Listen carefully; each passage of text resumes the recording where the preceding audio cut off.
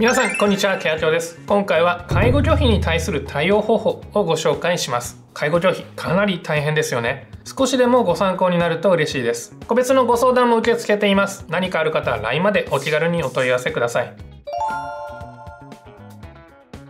まず最初に介護拒否は皆さんも経験をしているのではないでしょうか。ケア協のツイッターでアンケートを取ってみたところなんと95%もの人が介護拒否を経験しているとのことでした。ほぼ全員というのは非常にびっくりしますよね。なんとかごまかしている人非常に苦労している人たくさんいるのかもしれません。よく聞く介護拒否の例としてはお風呂に入りたくないと言われてしまう入浴や正式の拒否必要なタイミングでトイレに行ってくれないなどの排泄解除の拒否体のためには絶対に必要なのに拒否をされてしまう服薬の拒否いろいろな考えがあるものの生きるためには必要な食事の拒否。皆さんが体験した介護拒否どんなものでしょうか？ぜひコメント欄で教えてください。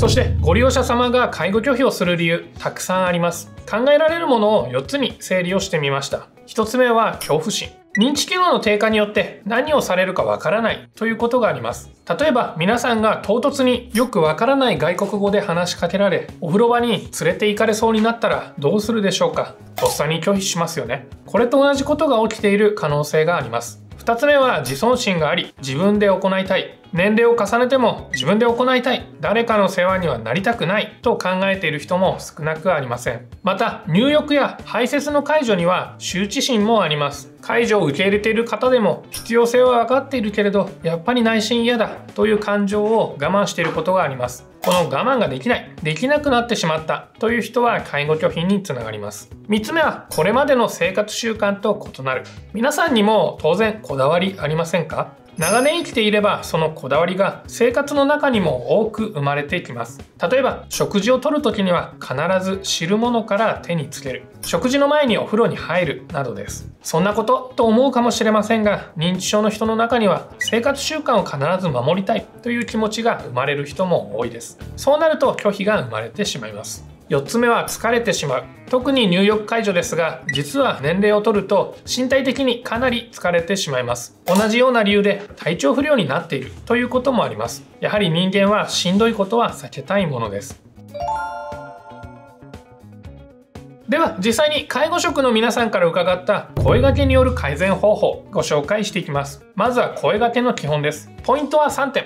目線態度ボディタッチです。まずは目線から基本中の基本ですが利用者さんと同じもしくは下からの目線を徹底しましょう。特に介護拒否がすでに起きている人や起きやすい人に対しては意識をするようにしましょう。つい忙しくなると立ったまま声掛けをしてしまう人がいます。これでは逆効果です。2点目は態度です。笑顔でにこやかに対応をしましょう。拒否をしている人に強気な態度で対応してもさらに拒否をされてしまうだけです。もちろん相手によってはそれで動いてくれる人もいるかと思います。しかし信頼関係を作ることを考えれば優しく笑顔で接しましょう。こちらも忙しくなってつい声を荒げてしまう人がいますので要注意です。そして3点目のボディタッチに関して人間は言葉を使わないコミュニケーションを取ることができます。そのうちの一つにボディタッチがあります。上手にボディタッチをすることで安心と安楽を提供することができます。実際優しく触れられることでオキシトシンと呼ばれる心身をリラックスさせる脳内物質が分泌されるとも言います。もちろん注意点としていきなり急所となるような場所や感覚が鋭い部分を触ると嫌な思いをさせてしまいますので注意をしましょ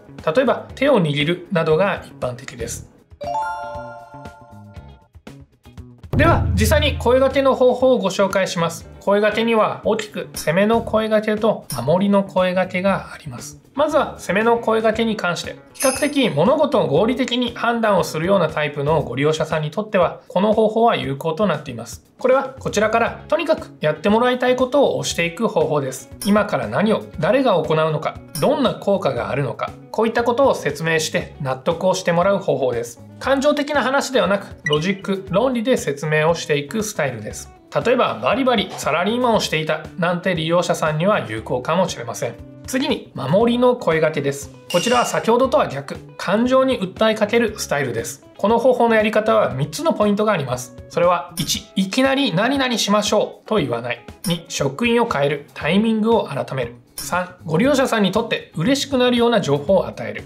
この3つです。順に見ていきましょう。まず1つ目。いきなり何々しましょう。と言わないこと。入浴解除の拒否が多い人にいきなりお風呂に行きましょう。と言っても拒否が始まってしまいます。まずはお風呂への抵抗感を減らすこと。お風呂に入りたい気持ちを作ることを始めましょう。2つ目に職員を変えたりタイミングを改めること。やはり好きな人好きなタイミングで誘われる声をかけられた時が嬉しいに決まっています。皆さんもそうですよね。この辺は年をとっても変わりません。普段からのコミュニケーションで見極めましょう。そして3つ目はご利用者さんにとって嬉しくなるような情報を与えること。気持ちよくなれるすっきりするこういった文言を使っている方も多いと思います。しかしそれが自分にとってだけ嬉しいことだったりしませんか？それでは効果が半減をしてしまいます。実際に介護拒否をされている方にとって嬉しくなるような情報をお伝えするようにしましょう。例えば入浴解除についてヘアケアが好きな人が拒否をしていれば新しいシャンプーが手に入った。